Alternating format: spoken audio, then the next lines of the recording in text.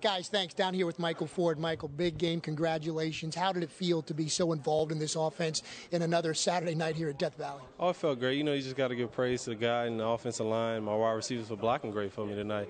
You know, it felt good to be out there with, you know, SEC game and be a big part of it you get the long touchdown catch is the way it will go down in the stats. The long touchdown run that almost was tiptoed on that sidelines. Did you know you went out of bounds, or give us the the your perspective of that long run that was a 54 yarder that comes down to a 14 yarder? Uh, my mind, you know, all I seen was green, and I was just trying to get to the end zone after that.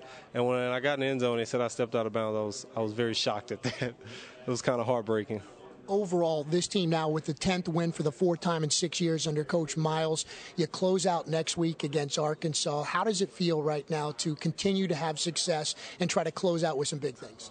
Oh, you know, it feels great because, you, like you said, we're in the SEC and 10 wins. That's that's very hard to come by. So, you know, we're very proud of that. Michael, overall, this team's ambitions and goals right now?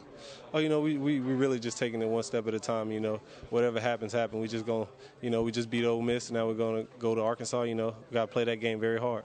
Michael, what size shoe do you wear? size 10. Size 10. We're going to get you a size 9, my friend. Congratulations. Nice game. Thank you. All right. Victor, Paul, we'll send it back to you in the Louisiana Machinery Studios.